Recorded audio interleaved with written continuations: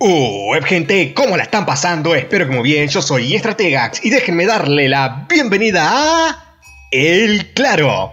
Al fin uno de los nuevos mapas de la nueva expansión, el ascenso de los sultanes que ya está acá, ya lo tenemos, ya lo tenemos y jugando en la esquina norte del mapa, con el color rosado. Y los ayubíes, lo tenemos a Corvinus 1, su rival, en la esquina sur, jugando con, miren a quién tenemos acá, miren quién está acá, Juana de Arco, lo tenemos a Vortex. Gente, bienvenidos a la nueva expansión y estoy re contento de poder traerles acá la primera partida casteada con dos jugadores de altísimo nivel, jugadores de Conquistador 3, jugadores de torneos. Prepárense porque esto va a estar increíble, hay tanto que explicar. Arranquemos hablando acá, arranquemos con Juana, arranquemos con Vortex. Juana de Arco es una variante de los franceses, la cual tiene eh, como particularidad, que la tenemos acá, a la mismísima Juana, que es una heroína, la cual vas a tener que ir leveleando a lo largo que, de la partida. ¿Cómo gana experiencia Juana? Ya que tiene que juntar experiencia para subir de nivel. Eh, en la primera forma, que es la forma de aldeana, Juana Campesina, tiene que eh, juntar experiencia trabajando, haciendo, juntando recursos o construyendo. Son las dos formas acá que tiene de juntar este recursos, eh, experiencia, perdón. Construir le da más experiencia que este, juntar recursos, por eso lo utilizo acá para construir el campamento minero y la casa. Y este, probablemente la utilice también para construir el armor, ya que este, de esta manera, al ser la construcción lo que más experiencia te da, querés que construyan el armor, que lleva mucho tiempo, entonces puedes sacar mucha experiencia. Como estarán viendo, Corvinus está tratando de denegarle los lobos, matar todos los lobos que pueda a Vortex, a pesar de que no hay ningún ruso en esta partida. Y eso es porque Juana también puede juntar experiencia matando animales. Si no me equivoco era 12 por lobo y 50 por jabalí. Acá lo vamos a tener peleándose este, por la hitear el último lobo. Bueno, no creo que Vortex intente la hitearlo, más que porque para él no matarlo ahora no le va a dar nada, necesita matarlo con Juana. Pero va a ver que no va a ser el caso en esta partida. Juana es muy parecida a los franceses, muy parecida y la tenemos colocando eh, la escuela de la caballería. El árbol tecnológico es eh, el mismo, salvo con muy muy pequeñas diferencias. Y es que, para comenzar, muy importante, se pierden el bonus de eh, recolección de, entrenamiento de aldeanos. Fíjense en 20 segundos por aldeanos. Esto no lo tiene, por lo cual la economía de Juana es muchísimo peor que la francesa. Y aparte, como Juana es uno de tus aldeanos iniciales, cuando Juana suba de nivel, significa que perdés otro aldeano más. Así que la economía de Juana es mucho peor que la francesa. La otra cosa que se pierden es el bonus de influencia de los franceses, pero tienen una mecánica acá en Juana para compensar. Y este, se pierden las tecnologías relacionadas con el bonus de influencia de los franceses, la tecnología de los castillos. Por el resto es todo idéntico a Francia, es la variante más idéntica a su civilización padre, pero este está todo el asunto, todas las diferencias acá de todo lo que puede hacer Juana que la tenemos martillando. Juana aparte, bueno, construye más rápido, por eso con solamente dos aldeanos es como si hiciera un pase de edad con este tres aldeanos, si no me equivoco. Luego tenemos a los ayubíes que están avanzando con el ala económica, desarrollo. Los ayubíes cambian bastante en comparación con los abasíes. Siguen teniendo la edad dorada, siguen teniendo la casa de la sabiduría con las múltiples alas. Pero como estarán viendo, eh, no tiene tecnologías acá, sino que cuando construye un ala, elige un bonus instantáneo que va a recibir al completar el ala. De momento está avanzando con el ala económica, eh, con la de desarrollo económico.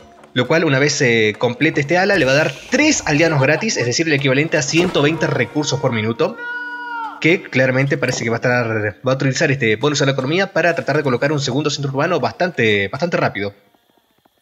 Los ayubíes, si bien no tienen tantos bonuses económicos como los abásidas, eh, pueden conseguir muy buen tiempo acá para este, el segundo centro urbano con las alas económicas que tienen.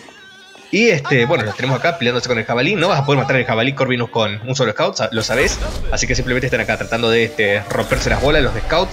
Ambos jugadores alcanzando eh, la edad feudal y Juana de Arco va a, construir la última casa que creo que necesita para conseguir la experiencia que, requiere para subir de nivel a nivel 2. Y cuando subís a nivel 2 con Juana de Arco, tenés que elegir una de sus dos variantes. La versión cuerpo a cuerpo o la versión a distancia. Cada cual te va a dar habilidades y estadísticas diferentes. Y en base a eso este, va a quedar eh, Juana ya sea cuerpo a cuerpo o a distancia por el resto de la partida. Es una decisión permanente. Cada subida de nivel te da una decisión permanente. A ver, Juana va a tener que pelearse acá por estos lobitos. Se ve que aún no tiene la experiencia suficiente para subir al nivel. No sé qué le pasó acá a la build de Vortex. Eh, había visto a otros jugadores que ni bien completaban el ala ya les daba para para levelear a Juana, pero no parece ser el caso. El resto los ponen en ovejas, capaz como oveja tiene menos tiempo de caminata. Ah, qué raro. Pero bueno. Mientras tanto, acá lo tenemos a los ayubíes tratando acá de cuicolearse. Uy, van a perder el scout de Vortex, lo donó completamente de gratis. Sí, chau chau scout de Vortex. Tenemos acá el primero de los caballeros reales buscando romper las bolas. Y está bastante puesta acá la economía de, Corvinus. Corvinus está jugando bastante... Bastante avaricioso. Se rompe acá la lanza. Primero los caballeros reales. Los aldeanos se van a tener que retirar. Varios aldeanos dentro del centro urbano. Pero no, no alcanzan a pegarle. Va a simplemente cuicolear acá para que no puedan meterse más los caballeros reales. Y va a jugar acá doble centro urbano, tratar de bumear económicamente. Que bueno, con los abásidas, perdón, con los ayubíes no necesitas, ¿por qué? Eh, bumear específicamente, podés utilizar otro tipo de estrategia, utilizando acá las alas. Y bueno, este, los ayubíes no reciben tantas eh, ventajas para el bumeo. Como se están viendo, no tienen comida fresca. Tienen que pagar el precio completo de los aldeanos. Así que a ellos bumear tanto no les conviene. Pero este, tienen nuevas unidades únicas. Ya tenemos acá dos caballeros reales, bastante peligroso.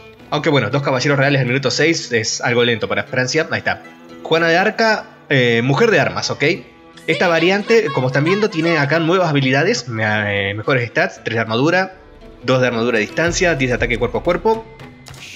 Y bueno, Juana de Arco lo que tiene que estar es estar presente acá en el combate para poder ganar la experiencia. Juana también este, se regenera salud. Y tiene dos habilidades nuevas. Ira Divina la recibe solamente acá en la forma cuerpo a cuerpo, que le permite golpear en área alrededor de ella haciendo daño a todas las unidades. Y esta habilidad, este, Restauración Divina, le permite recuperar a, Juana y a las unidades cercanas a Juana el 30% de la, unidad, de la vida faltante. Entonces te conviene esperar a que estén muy bajas de vida tus unidades y activarla, así le sacas el máximo provecho a esta curación. Esta habilidad la tienen todas las Juanas. Y esta habilidad también la tienen todas las Juanas, que es consagrar, que es la ventaja acá económica de Juana. Y es el motivo por el cual Juana no tiene la influencia de los franceses, que cada cierto tiempo puede utilizar esta habilidad para consagrar un edificio. De momento no veo que tenga consagrado ninguno. A ver, vamos a cambiar la... Uy, no. La perspectiva a Juana, a ver si podemos ver. No me está saliendo el iconito, no veo que haya consagrado ningún edificio. Al menos no por el momento, ahí está, ahí tiene la primera carga. Y cuando consagra un edificio, puede elegir este qué edificio consagrar. ahí está, acaba de consagrar, ahí lo tenemos, la escuela de la caballería. Y ahora todas las unidades producidas dentro de la escuela de caballería van a ser este costar 25 menos de alimento, 25% menos de alimento. Los caballeros reales pasaron de costar 140 de comida a solo 105. Así que, fíjense, se va a estar ahorrando 35 de comida. Va a intentar acá matar el jabalí. Juana puede tanqueárselo a ella, total, ella se puede regenerar. Y ahí está, 50 de experiencia más para Juana que está haciendo acá su laburo de tratar de matar todos los animales que pueda. Ru sería una buena civilización para jugar contra Juana, ya que querés matar todos los animales también con los Rus. Y bueno, de momento lo tenemos acá a Corvinus bumeando múltiples centros urbanos, comiéndose la comida en la parte trasera de la base. En este mapa bastante, bastante tortuga, bien cerrado, todavía no tiene ningún edificio de producción militar. Entonces ahora cada eh, dos minutos, no, cada, sí, dos minutos, este Juana va a poder consagrar alguno de los edificios. Probablemente busque consagrar acá algún centro urbano. Que Vortex, viendo que mucho daño no va a poder hacer, también fue por su segundo TC. Entonces ahora podría consagrar los eh, centros urbanos para que los aldeanos les cuesten 25% menos de comida. Sería alrededor de 37 comidas le van a quedar cada aldeano, como si desarrollara comida fresca. Acá la tenemos a Juana regenerándose, buscando ver más animales para matar. Ahí ya agarraron el jabalí aprovechando que tiene el dominio del mapa. Y bueno, fíjense, este Vortex, a pesar que está jugando doble centro urbano francés contra, contra una SUV, se encuentra detrás en el contador de aldeanos por esto, por las desventajas económicas de, Juana. Juana en estos momentos tendría, está fácil, 6 eh, aldeanos detrás de lo que estaría eh, Francia con el WTC. Se está perdiendo, ya te digo, 240 recursos por minuto simplemente por estar jugando con esta variante. Pero bueno, cuenta acá con la heroína de Juana que va a tener que sacarle buen provecho para compensar la falta económica. Y de a poquito va a poder ir compensando acá la falta económica consagrando distintos edificios. No hay un límite en cuántos edificios puede consagrar, pero este, una vez que, que te rompen el edificio, perdés la consagración. Es una forma de contrarrestarlo. Ahí está. Ahí consagró el segundo establo. Y se está yendo a la de los castillos con el salón del gremio, justamente para tratar de compensar un poco la falta de economía. Y se estarán preguntando, ¿qué hace Juan acá para dar el lugar sagrado? Bueno, una vez que llega la de los castillos, Juana puede capturar lugares sagrados y no solamente que va a ganar oro, sino que también le va a dar experiencia. Mientras tanto acá tenemos los caballeros reales tratando de denegarle algo de espacio a Corvinus, que sigue bastante boomer acá en la parte trasera de la base. Y ay, ay, ay, ahora recién ahora empezó a meter eh, producción militar. Ahora con esta empalizada se logró asegurarse las vallas. Pero su rival se está yendo la de los castillos y ahora se va a estar enfrentando a franceses este, en castillos. Peleando con un ejército de feudal bastante, bastante lento. Me parece acá que Vortex tiene acá una muy buena ventana de oportunidad de cuanto 3 minutos para hacer un montón de daño. Ahí está. Inicia la captura del lugar sagrado. Y acá los tenemos. Eh, los incursores desérticos, la unidad única de los ayubíes. Los ayubíes no tienen ni jinetes a camellos ni arqueros a camellos, sino que tienen al incursor desértico, que es una mezcla entre ambas unidades. Más débil que ellos por separado, pero tiene la habilidad de cambiar acá, en el modo a distancia y el modo cuerpo a cuerpo. Y al ser una unidad a camello, cuenta acá con camello inquieto, este, para reducir el daño a la caballería enemiga. El problema es que estos incursores a camello no van a poder pelear acá contra los caballeros real veteranos. Fíjense acá los stats, son unidades de feudal. No son tan buenos los stats, son más baratos que los camellos abácidas. Para compensar. Pero bueno, ahí se están encontrando con el problema. Y este, Corvinus, ahí está, llegó a la de los castillos. No me salía acá el... Está bugueada, eh, los ayubíes. Uy, tiene que tener cuidado, no tomar la pelea antes de tiempo. Tiene que tener cuidado, no tomar la pelea antes de tiempo, no perder acá un par de camellos de gratis. Pierde nomás. Uy, la carga cuerpo a cuerpo que le logró meter. Habrá tarjeteado al, al incursor desértico de atrás. Y... Ah, interesante decisión de Corvinus.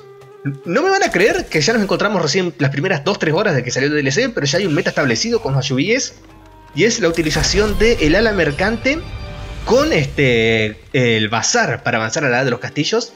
Es una de las mejores alas, pero Corvinus no optó por esta, sino que optó por el ala de la sabiduría, la que le otorga acá a los dervishes, que son monjes a camellos, como estamos viendo, que cuentan acá con la habilidad no solamente del Wololo, este, sino que aparte pueden curar en área rápidamente a todas las unidades con este, la W, curación masiva, y mientras que están llevando reliquias, este, la curación masiva también este, se ve potenciada. Lo tenemos acá Corvinus empezando a seguir sumando unidades. Y fíjense, fíjense, tenemos otra acá de las unidades únicas de los ayubilles. El lancero a camello, el cual es un reemplazo de los caballeros. Los ayubilles no tienen caballeros, sino que tienen los lanceros a camello. Que son más débiles que los caballeros ordinarios. Este, cuestan la misma cantidad de recursos pero eh, un poco más centrados en el oro que en el alimento. Y este, como están viendo, peores stats este, en cuanto a salud, solo 210 en vez de 230, 22 de daño en vez de 24, pero este, cuentan acá este, con el debuffo para la caballería enemiga al ser y aparte este, su carga funciona distinto.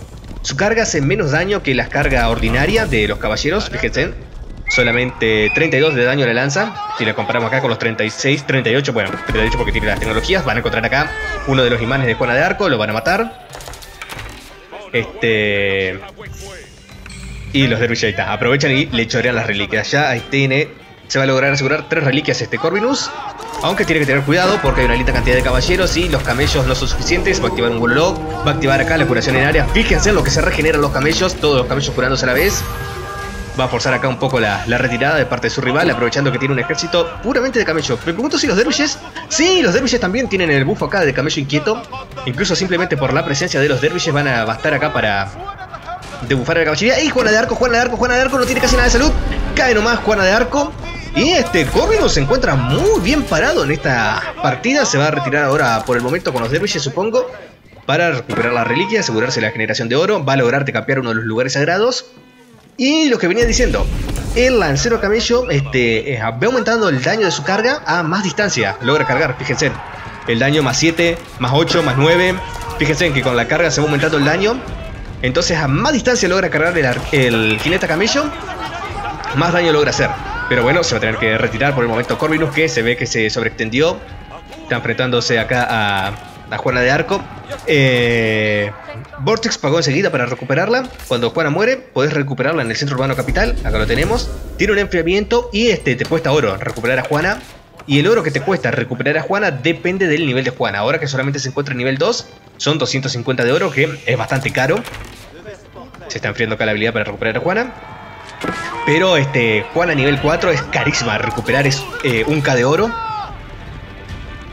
Así que puede ser bastante, bastante problemático. Pero bueno, este, acá tenemos un enfrentamiento entre este, ambas civilizaciones, midiéndose ambos ejércitos.